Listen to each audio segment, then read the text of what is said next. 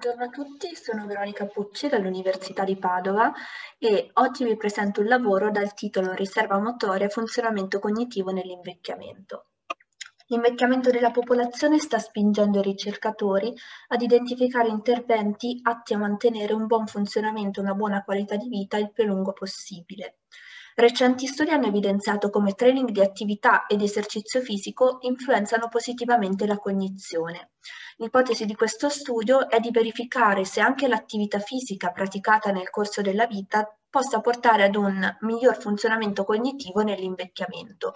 Quindi che l'attività fisica accumulata possa costituire una sorta di riserva, una riserva motoria abile nel compensare il declino cognitivo età relato. Inoltre, stando alla letteratura, un effetto maggiore è atteso per il dominio delle funzioni esecutive.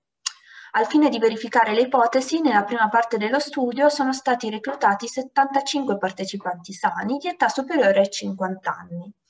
Essi sono stati valutati con un questionario ad hoc per quantificare la loro riserva motoria, indagando non solo l'esercizio fisico, quindi tutte quelle attività strutturate svolte con l'intento di mantenere la forma fisica, ma valuta anche l'attività fisica incidentale, qualsiasi attività quotidiana che porta ad un dispendio metabolico al di sopra del basale. Poi lo stesso campione è stato sottoposto ad una batteria computerizzata cognitiva completa. Successivamente, nella seconda parte del lavoro, un altro campione di 101 partecipanti con le stesse caratteristiche del precedente è stato sottoposto allo stesso questionario di riserva motoria ed a una batteria di test spe eh, specifici per le funzioni esecutive. Per verificare le ipotesi, eh, sono stati poi costruiti dei modelli di regressione lineare multipla tenendo conto dell'età come superiore o inferiore ai 65 anni ed è risultato che la riserva motoria ha un effetto significativo ed il modello stesso spiega circa il 50% della variabilità dei punteggi.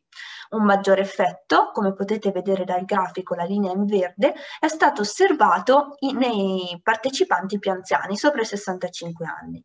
Per quanto riguarda invece i partecipanti sottoposti alla batteria di test esecutivi, la riserva motoria relativa all'esercizio fisico è risultata in grado di predire l'efficienza ai test. Concludendo quindi, l'attività fisica svolta nel corso della vita sembra essere un fattore rilevante nello spiegare la variabilità cognitiva del campione, specialmente nei partecipanti più anziani e specialmente nel dominio esecutivo. Oltre ad approfondire i fattori che contribuiscono alla variabilità cognitiva dell'invecchiamento, questo studio potrebbe fornire nuove basi per l'implementazione di programmi di prevenzione dell'invecchiamento patologico o riabilitativi per, per, per persone con conclamata demenza. Grazie mille.